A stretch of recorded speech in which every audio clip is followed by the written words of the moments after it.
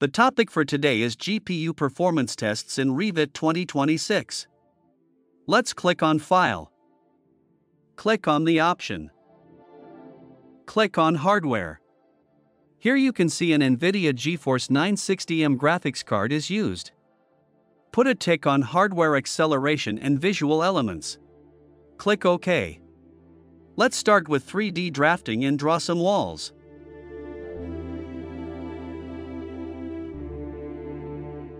Here you can see there is a spike in GPU usage in drafting mode. Next, do some zooming and rotation in drawing.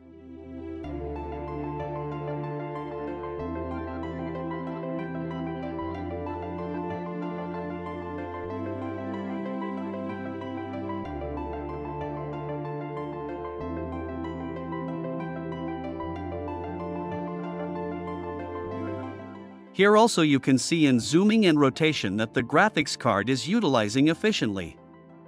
Next, let's use the pan option.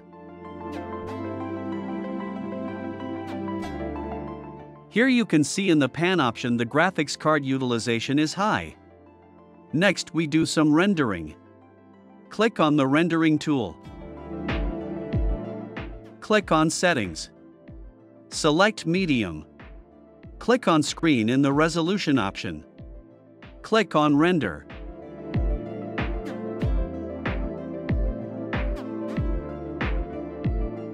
So here you can see CPU utilization is at a maximum, but the GPU utilization is at a minimum. So in rendering, the GPU is still not utilized.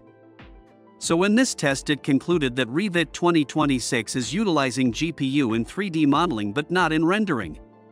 Like, subscribe, share, and press the bell icon for more interesting topics.